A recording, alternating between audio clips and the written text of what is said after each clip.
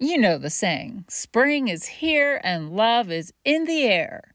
Well, nowadays, it's also online. It is shocking to a lot of people how many people are using it. I mean, 50 million American adults. So basically, all American adults are using online dating. It's now, it's no longer the norm as in person meeting at a bar or meeting through friends or however people used to meet.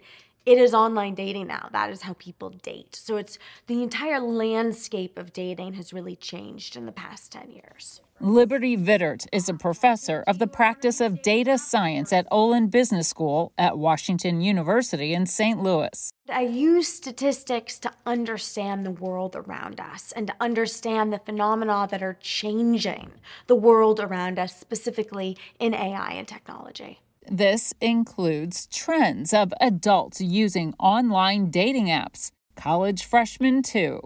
I had them raise their hands at the beginning of the semester. I said, How many of you are on dating apps?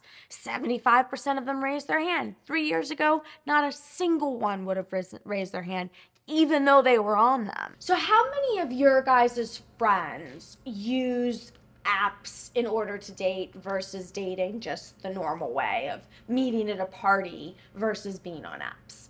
I would say that the vast majority of my friends are probably on dating sites, or if not on dating sites specifically, use online or social media to meet new people. And I think for a lot of my friends, that's the case, being able to just be at home and just like look at whatever people put as their personality online and see if they have a match like that. The truth is, at least 50% of college students are using online dating. It's probably more. There's tons of studies, great statistical studies on this, that the big fear, especially amongst young people, is this fear of rejection. So we are seeing this explosion of these dating apps on college campuses, as well as older 20s, 30s, 40s, 70s. As technology advances, AI is playing a role. Vittert says some of the popular dating apps are using it, including Tinder, Bumble, and eHarmony. AI is becoming the modern day matchmaker. Matchmaker, matchmaker, make me a match. Find me a find, catch me a catch. Matchmaker, matchmaker, look through your book and make me a perfect match. That's the part that could be a lot for the AI bot. The AI bots are good, but they're not great. I found him! Will you be a lucky bride? He's handsome, he's tall, that is, from side to side.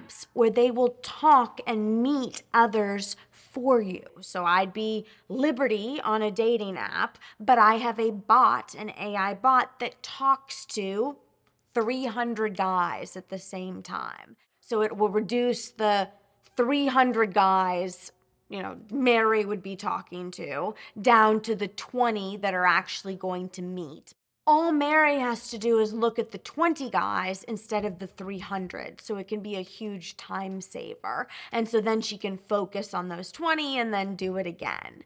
The other reason people are using it is because they don't know what to say. These AI bots are doing it for them. But relationship building with a bot is not ideal. So, learning how to spot a bot is increasingly important. If it seems a little off, trust your instincts. Just seems a little bit odd, a little bit weird, doesn't quite make sense there are a lot of fish in the sea, move on to the next fish because there is a very good chance that that is an AI bot. For better or for worse, online dating with a bot or not may be harmful to some people in ways they may not even be aware. Incredibly harmful, not knowing actually what is real and what is um, false, I guess, uh, kind of fabricated by this artificial intelligence.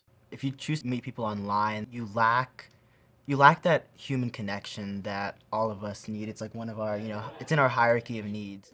I think it comes from a place of disillusionment, whether it's like with your close social circles or clubs, like you're meeting people, but like no one's really clicking or like you're not really seeing anything.